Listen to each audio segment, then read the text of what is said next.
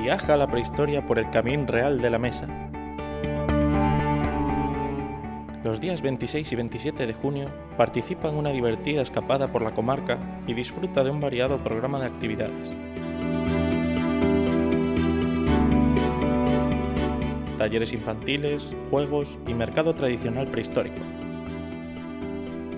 Y además, Teberga se convertirá en un poblado del Paleolítico,